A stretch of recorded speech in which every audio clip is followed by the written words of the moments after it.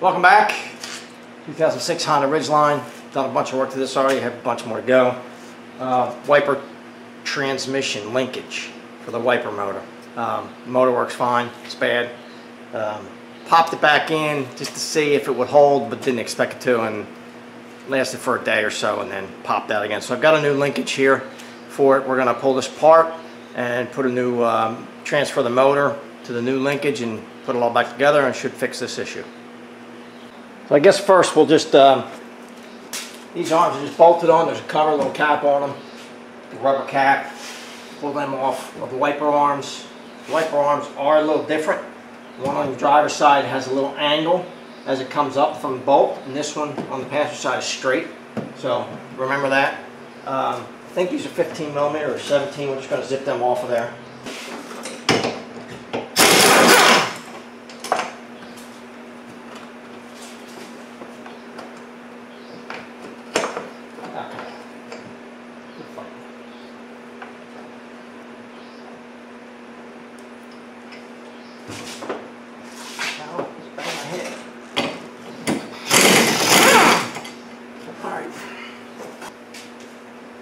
You should just pop off. You gotta, you gotta work a little bit. They'll come off.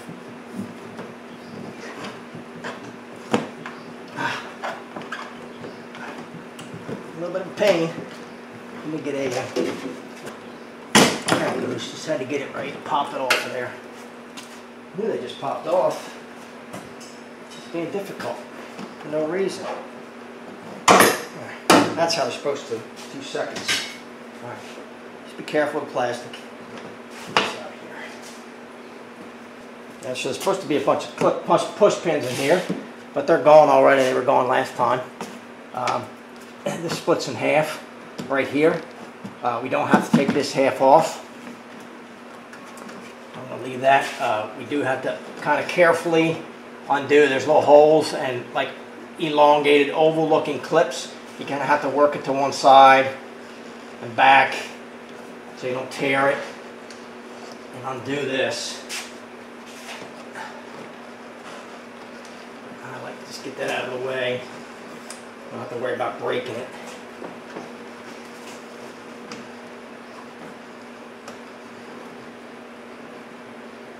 Just lay that down in there.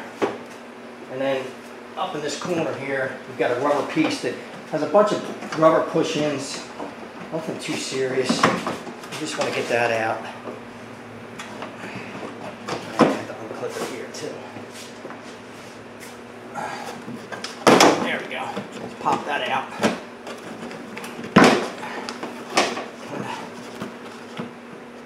Disconnect the hose right here. I think I left it here. I think there's a T fitting in here. There is. It's a little easier to disconnect it from there. Say that. And now it won't come out. No, it's coming. It's just. There we go. Undo that hose. It kind of disconnects everything. Might just be able to set this out of the way. I don't know. Now we're going to undo it. Gotta get these out. Little rubber. You just push in. Just, you know, be careful with it. I think that's all I have to do. I think. Get all. Got one more. Something still holding on here. Yeah. Do that. There we go. I'll just set that aside. It's got a bunch of a little this uh, rubber piece, molding piece, just pushes through all these holes and locks itself in. They're just, you know, just be careful with them. No big deal. When I put it back on, I usually put a little silicone spray on them, just makes them go in easier. Uh, so this is what we need to get at. So this is kind of what we care about. It's this whole mechanism here. It's just uh, some 10 millimeter bolts, like one, two, three, four. I think we can take this whole thing out. So we want to unplug this connector. A tab on the bottom, push up on a tab, disconnect that. You do want to make sure this is off and all the way in the parked position uh, before you take it apart.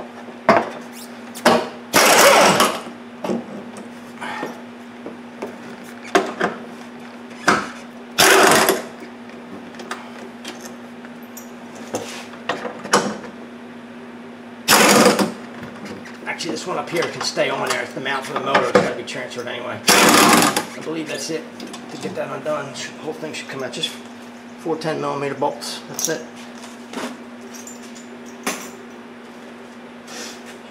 Take this out of here. It's on a pin right here in the corner. There's a pin going coming out this way. You have to slide it to the passenger side, clear that pin. I'll show it to you. I'll take it off and show it to you because I know you can't see it. And just slide it out of here. We'll just set it right here for a minute. We're going to unbolt this, take measurements, uh, and uh, move this to the new one. So what I was talking about is right up in there. There's a pin right there, right? Right here. You got to slide the hole. Once you unbolt it, slide it to the passenger side and get off that pin. No big deal.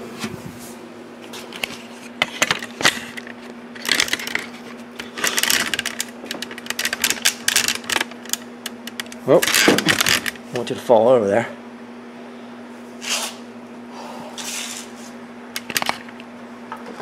All right, here you can see two bolts. I'm going to measure this distance, uh, and then so I, when I transfer to the other, um, maybe there is no measurement. There might be two holes for this mount, so it might be no measurement. Oh, let me get the new one. Let's take a look at it. And this is what's broken. Right there's the arm. Can't get these cups, these little nylon cups for the ball joint. Um, I looked all over the place. I don't think they make them for this car. Gotta buy the whole thing. At least I couldn't find them. And here's the new one. Let's see what we got here. Get it the right way first. Looks like this. Yeah, there's holes for it. So um, let's unbolt this.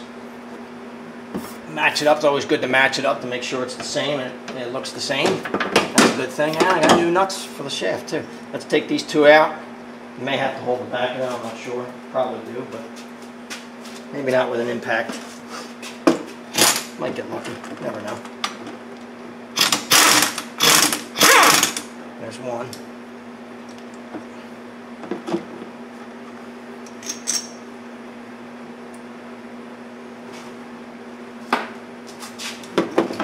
Here's the other. It just fell off. So there's a, bra- oh, the back bracket did. The other side of the bracket. Pushed it. Okay, should be able to just lift this off. There's your motor. There's your back piece for it. Set that right here for a minute. I'm done with this. Jump.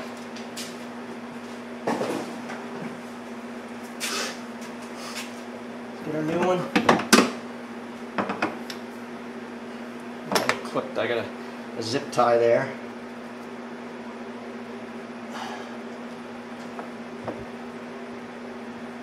And there, you can see, here's, this has got to come off. There's a new one on here. So let me unbolt this, probably 17 millimeter as well. I guess. It is. Let's take that arm off.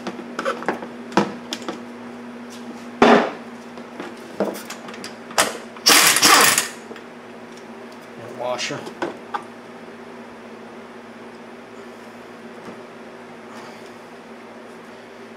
Get it off of here though. It's, it's on there pretty tight, so let me go. Let me go fight with this and get it off of there and transfer the new one.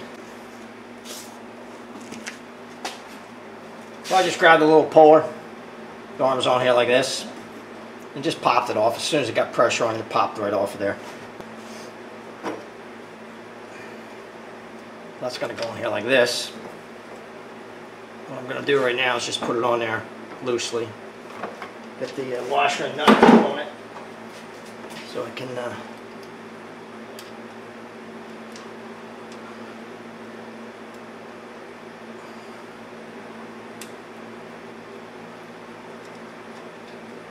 not tight yet. Nothing real exciting. Did I get it all the way through? Not yet. I gotta line it up. I'm gonna have to fight with this for a little bit off camera but I'm just lining these bolts up to get them in the right place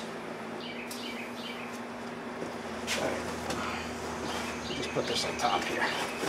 Just for a little protection. So I had to do a little, little persuasion to get these bolts lined up, no big deal. And I forgot to put this bracket on, so I to just back these off. Put the put them on. Hang on. Once I forgot. You just gotta line them up to get them through. It's no big deal. Put the bracket on. Get it started. This one I gotta get through a little more, I think. It's a little.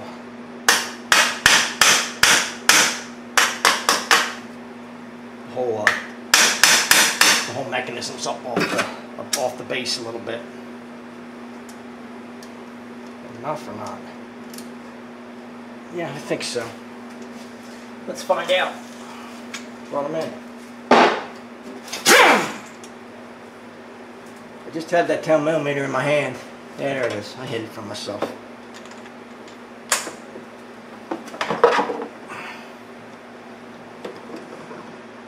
Let's run these down just a little bit. Just want to run them in a little bit. There we go.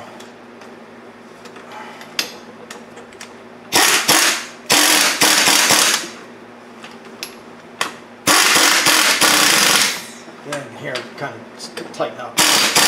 Of course, of course the compressor comes on. Right now. Now am I gonna get this? I gotta move this arm, line it up. There we go. No big deal. I wanted to just kind of show you this. Um, the arm right here that's on the back of the modem. You can see on that arm that it connects to, it's a straight line. It's all the way straight. So it's facing that arm and it's pushed the arm and this is the passenger side more towards the passenger side it's pushed it as far as it'll go and this is parked right now so I know it's at its lowest point on the window uh, that's what you want to line back up once you know it's parked you want it that way. So when they turn it on the first thing it's going to do is pick the arm up. If you don't get this lined up straight when you put it back together then you're going to have a problem and you're going to have to reset them basically pull it apart and reset it.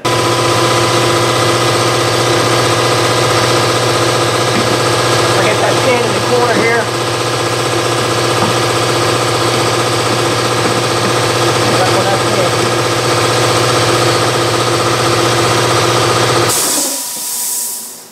Okay. Get these started back in. Not much to this.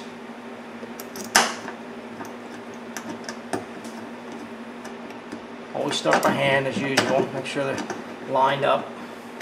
This is why, because I'm fighting it right now. I don't know why, but I am.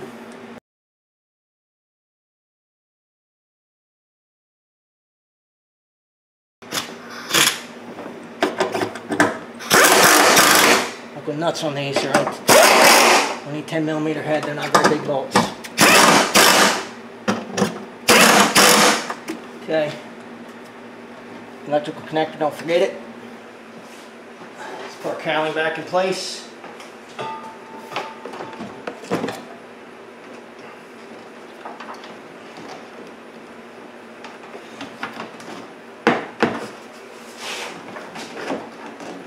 Hardest part, if I remember this correctly, is this piece here.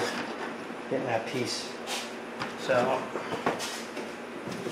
we'll leave that to last, of course. Let's put our hose back in, don't forget that. That won't help you if you forget that. Get back connected up here. Not much to it. Good. Just back in place. Everybody lined up and happy. You got a push pin right here. You got to get that in the hole. There's a hole there for it. So, like that. Now, there's push pins up in here too that are underneath them. Let's see right now. Let me get them lined up. Now I can see them. There we go.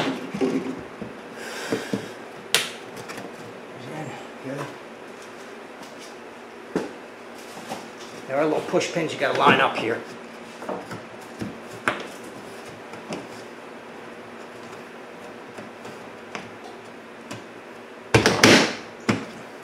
Tip it up if you need to. You can look underneath.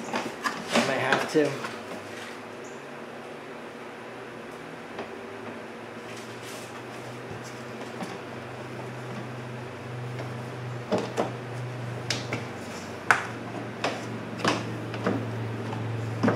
You can actually look down through the grill too. down to the top to see and line them up. Probably a smarter thing to do. Alright, put my silicone spray away and it's buried up on the shelf, so Just gonna use uh, a little bit of uh, window cleaner. Just, just wet down, wet them down a little bit, lubricate them.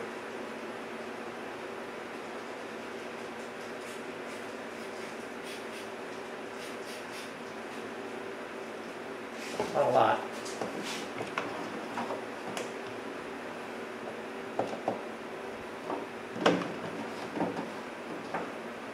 That's it. I took it out of there now. I don't. Ah, that was dumb. now I gotta figure it out. Now it came out there. I like this. There we go. You just gotta push them in place. Get a little bit of uh, some kind of lubricant. Like I said, I just used the window cleaner. So they're wet. And they just, they'll push in a lot easier.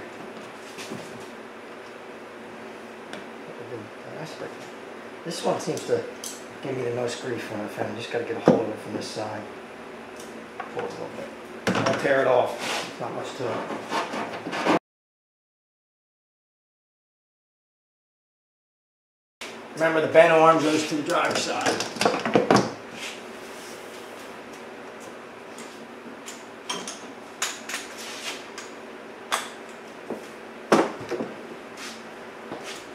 Stuff in my oil, tripping around there. Just Get this kind of where it needs to be, lined up on the windshield. Push your uh, arm down onto it.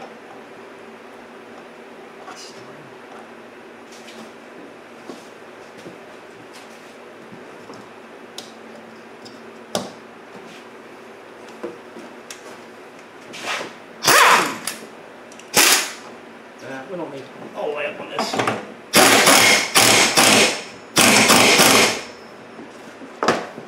Cover on. That up. Same deal. Get lined up where it should be on the windshield. It's down here, right about there. Push that down on there.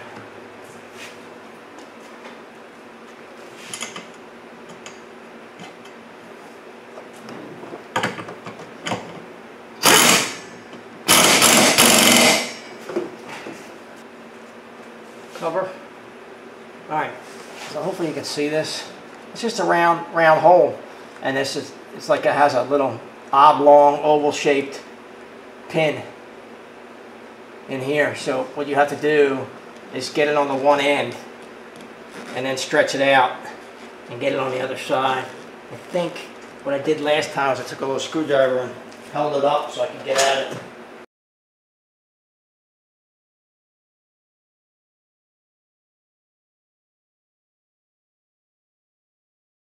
I had a brain, I probably would have taken these out from the other side when I had it apart and just put them in there and just pushed them back in. It would have been easier, but I never said I had a brain.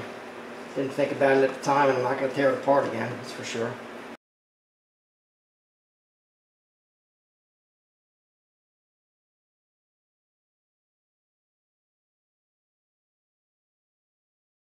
There we go.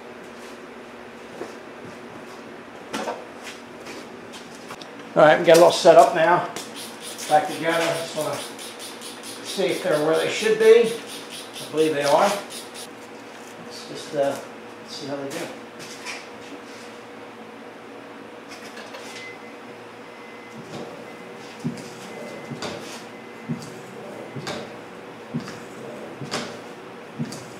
Intermittent.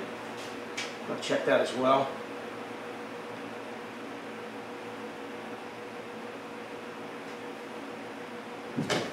and off So that's good. They're below the hood. It's kind of where I want them. Uh, they're covering the window really well. That's it. Well, that's it for the uh, windshield wiper transmission linkage uh, for this 2006 Honda Ridgeline. I messed it up the first time I did it. I Had to go back and do it again. What I will tell you is make sure it's parked, make, which means, basically means, before you take everything apart, you can take the wiper arms off, doesn't matter. Uh, run the wipers and then shut them off and let it park so it's at its lowest point. And then once you do that, then take everything apart. What I showed uh, earlier was that linkage has to be in line that where it hooks to the back of the motor on that post, that stud on the back of the motor, has to be facing the passenger side and the linkage that it hooks to should be in a straight line. That means basically um, the linkage is rotated all the way as far as it can down or towards the passenger side. And when you start it, it's going to start going back up again. That's where you want to put your wipers back on. I messed that up the first time. It just caused me a little bit of problem. Not, not a big deal, but you might you want to make sure you do that. Uh, save yourself some lost time like I had today. Um, but it's working. Uh, and um, if you have this problem with your Honda Ridgeline, I hope this helps you out. If you like the video, subscribe below. Thanks for watching.